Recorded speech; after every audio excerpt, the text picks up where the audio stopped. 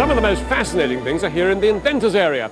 Take this, it's the Pyro plug, designed to put out fires in the kind of electrical equipment you might have at home. What gave rise to it first appeared on our program seven years ago. Craig Doyle has been back to meet the inventor to see what's happened since.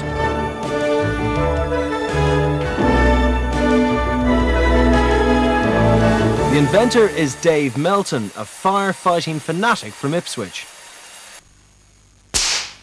How does it work? Well, the heat of the fire causes the walls of the tube to weaken and burst at the hottest place, delivering the extinguishing gas to the very heart of the fire.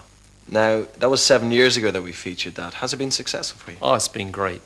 Um, we're now fitting these systems to vehicles, computers, all types of equipment worldwide. What have you got for us now? Well, we've moved on to a miniature system that'll fit inside a television set.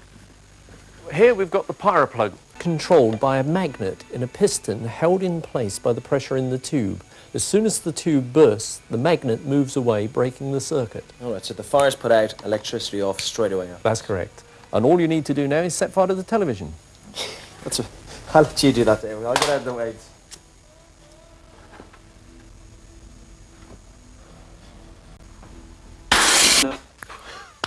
Brilliant. Well, it gives you a bit of a shock, that, doesn't it? Oh, fantastic.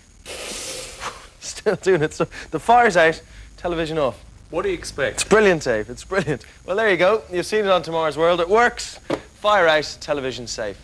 Pretty good. The same system can be used in any electrical wiring installation, either in buildings or behind a car's instrument panel. A localized fire is quickly extinguished. The pressure gauge indicates a discharge has occurred unless an audible alarm or flashing light on the dash is fitted as well. Good.